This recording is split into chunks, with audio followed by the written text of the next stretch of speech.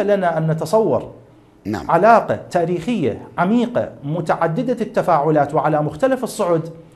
وإلى الأمس القريب كانت حكومة العراق وشعب العراق يستضيفون ملايين الزائرين من الجمهورية الإسلامية الإيرانية إبان زيارة الأربعينية للإمام الحسين عليه السلام. م. ثم استمعنا إلى مواقف الشكر ورسائل التقدير نعم. من الحيزين الديني والسياسي في إيران وهم يشكرون حكومة العراق وشعبه على هذه المواقف ترى أيقابل موقف حكومة العراق وشعب العراق في استضافة الزائرين بأن يساء إلى سيادة العراق وأمنه وترويع مواطنيه؟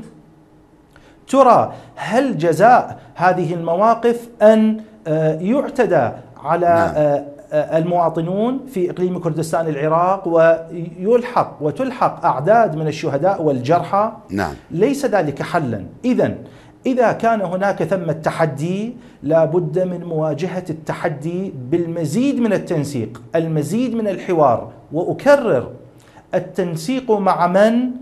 إنه التنسيق مع الحكومة الاتحادية ببغداد لأن الملف الأمني هو اختصاص سيادي للحكومة الاتحادية اذا لا خيار إلا مع بغداد ولا خيار إلا من بغداد ولا خيار إلا بالتعاون بشكل تشاركي وليس الالتجاء إلى العمليات العدائية الاستفزازية ثم دعني أقول وبشكل صريح إيه. أن اعمالا كهذه تترك آثارا جد عميقة في الذاكرة العراقية ولدى الأجيال الصاعدة.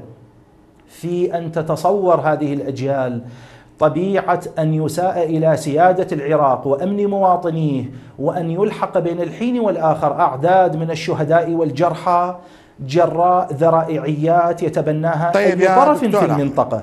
ليس ذلك مبررا لكل ما يحدث. سيادة العراق هي بالفعل آه، مسار حقيقي على مؤسسات لكن- الدولة تأمينه وأتحدث قدر تعلق الأمر بالخارجية العراقية.